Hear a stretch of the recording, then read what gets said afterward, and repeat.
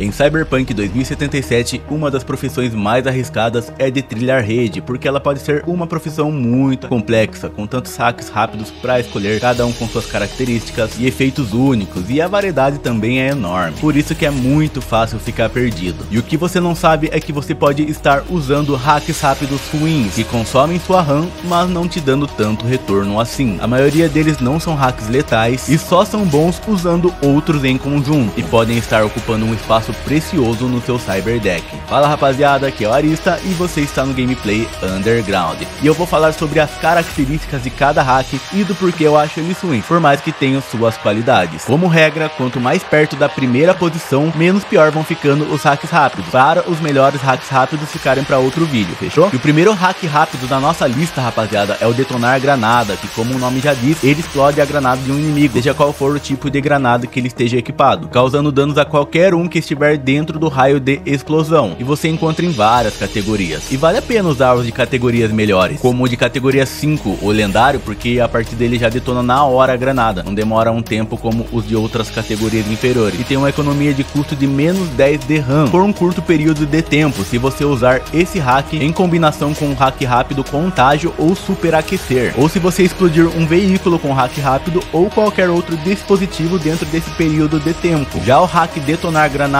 icônico, essa redução de custo de RAM já cai para menos 15 de RAM, então você economiza 15 de RAM combinando com esses outros hacks rápidos. O hack de categoria lendária tem a vantagem de poder acumular duas vezes essa redução no consumo de RAM, e isso faz ele ter uma vantagem com o hack de categoria icônica, só que você vai sempre ficar na noia para explodir algum cilindro de combustível ou algum dispositivo para desbloquear essa vantagem. O icônico já é mais direto, né? Não acumula, mas dá uma redução ainda maior nos custos de RAM. Se o icônico fosse igual ao lendário, pelo menos que desse para ter esse de RAM duas vezes, daí seria sucesso. De todos que eu falei nessas qualidades melhores, eles custam 24 de RAM, e justamente por causa disso que é um dos piores hacks rápidos, porque ele custa muita RAM, e isso se você tiver RAM suficiente para usar, ainda mais no começo. E mesmo assim é muito provável que ele nem vá matar o inimigo com a explosão da granada, porque em 2077 as pessoas têm armadura debaixo da pele, são praticamente blindadas, fora a proteção da roupa. E cada inimigo carrega um tipo de granada, e não aparece no scanner o tipo de granada que o inimigo está equipado. Então se você for na expectativa de explodir o inimigo com a granada, às vezes ele tá só com uma granada de luz, ou de pulso eletromagnético, se der sorte ainda ele vai estar tá com uma granada incendiária. Mas só vale a pena se você combinar com outros hacks, que também vão ter um custo para sua RAM. Então por isso que o hack rápido detonar granada tem uma proposta muito interessante, mas é um dos piores hacks rápidos que você pode estar usando, perdendo espaço no seu Cyberdeck para outros hacks mais efetivos. Se ele fosse um hack com um efeito mais forte de dano ou um custo de RAM menor, aí talvez valesse a pena, porque daí não seria necessário ficar fazendo outras combinações de outros hacks. E contra o Adam Smasher, por exemplo, até causa um dano mais considerável, mas mesmo assim,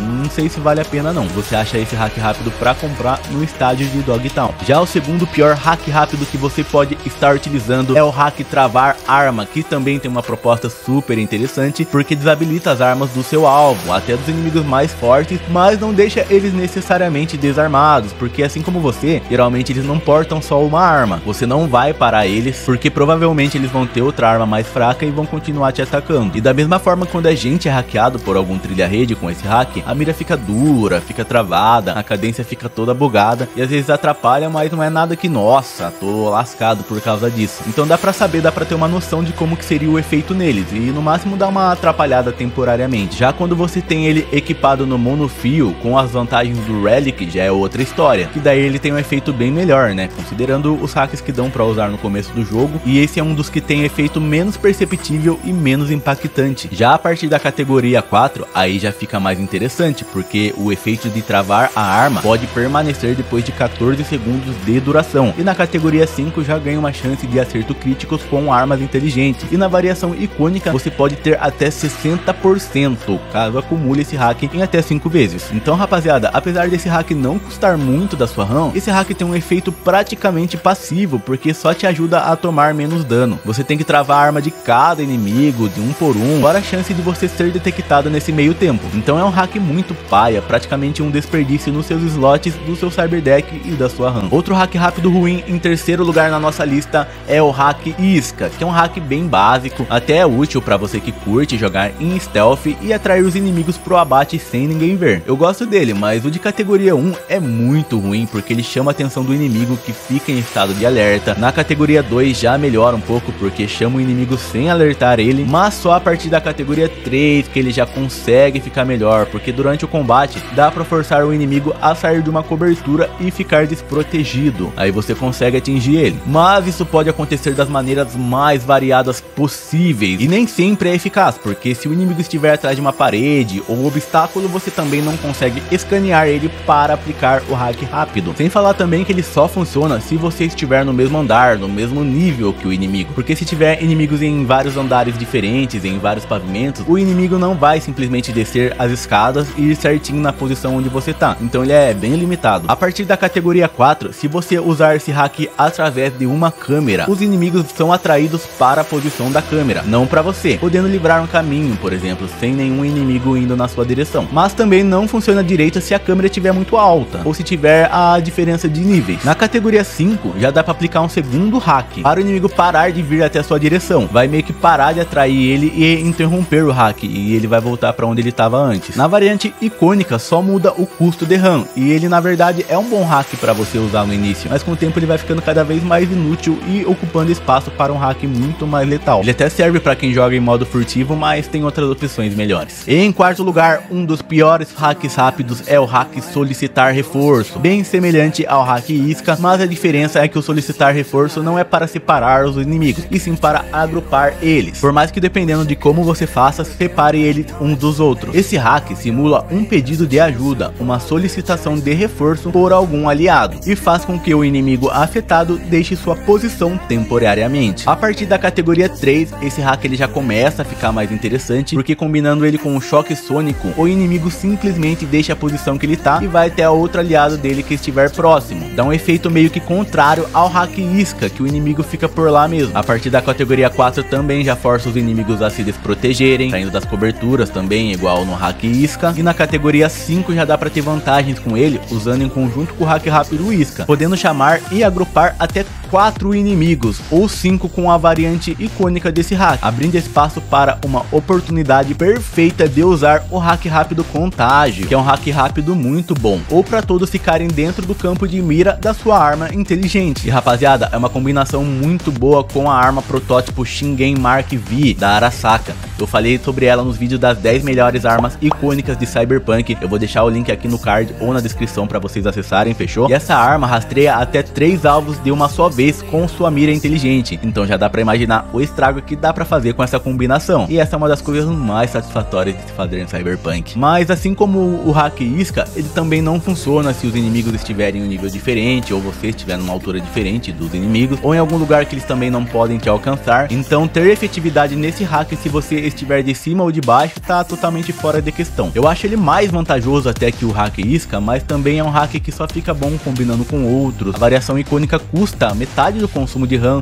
então vale bem mais a pena do que a categoria lendária, mas é bem mais difícil de achar. Mas o que não é nem um pouco difícil é deixar seu like e se inscrever para acompanhar nossos conteúdos. Já em quinto lugar temos o hack rápido reiniciar óticas, e como o nome já diz, deixa seus inimigos cegos temporariamente, para você poder passar por eles sem ser visto, ou para perderem a precisão da mira quando atiram em você, que é uma ótima combinação também com o implante de camuflagem ótica, para se esconder de todo mundo de uma vez. Lembrando que esses hacks só estão em uma lista de hacks ruins porque existem hacks melhores, mas o hack reiniciar ótica pode te ajudar em vários momentos, principalmente a partir da categoria 3, que aumenta o dano de tiros na cabeça e do ponto fraco dos inimigos. Já a partir da categoria 5, ele fica bem melhor restaurando a sua RAM e propagando mais um hack de reiniciar óticas no inimigo que estiver mais próximo. Então se tiver outro cara perto do seu alvo, ele também vai ser afetado. Mas quanto melhor a categoria, maior o consumo de RAM. E adicionando ele ao monofio, você ganha alguns multiplicadores de dano, e ele ainda se espalha depois que os inimigos morrem. Mas a questão a respeito do hack reiniciar óticas é que ele é um hack bom, usando em conjunto com outros, e esse é o motivo dele também estar presente aqui na nossa classificação. E em sexto lugar, um hack que também é ruim, mas nem tanto, é o hack colapso de sistema, que é ideal para quem joga de modo furtivo, porque é um hack irrastreável e nocauteia o inimigo, só que ele custa míseros 28 pontos de RAM. Só vale a pena se você conseguir acumular duas vezes uma redução no progresso de rastreio, quando os inimigos começam a te rastrear. Aí dá para você ganhar uma economia de menos 12 de RAM por um curto período de tempo. Mas para conseguir otimizar tudo isso, você tem que ter a vantagem trilha oculto, que fica no atributo inteligência, que interrompe o rastreio da sua localização após matar um inimigo. Aí fica mais fácil de acumular para o colapso desse sistema custar apenas 4 de RAM. No patch 2.12 foi corrigido um bug que na variação icônica desse hack não estava funcionando os efeitos de redução de custo. O de categoria lendária reduz em 20% o progresso de rastreamento e o icônico em 40%. E eles interrompem toda a cadeia de rastreamento, usando ele contra o trilha-rede principal de uma gangue. Geralmente quando você neutraliza o trilha-rede já interrompe, e com a vantagem trilha oculto, aí tudo fica melhor para você poder usar esse hack. Mas nessa questão de ser irrastreável, tem por exemplo o hack rápido choque sônico, que custa muita pouca RAM ao invés desses 28 pontos, e só com a turbinagem mesmo para também valer a pena. E em sétimo lugar na nossa classificação é o hack suicida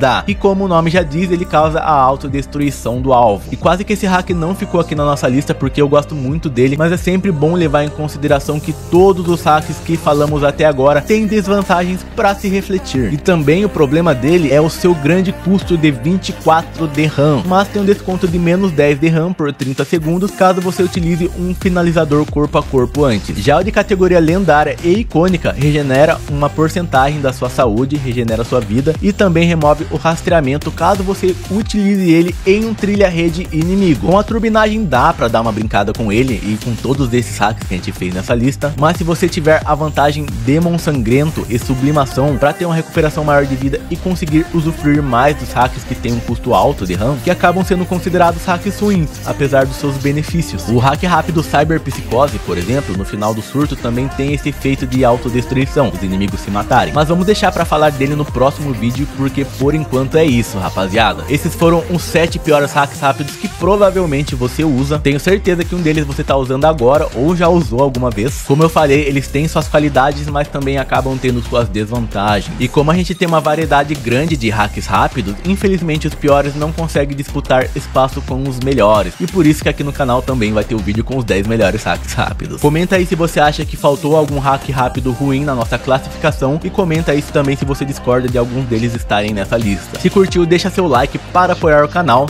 se inscreva para acompanhar nossos conteúdos e forte abraço.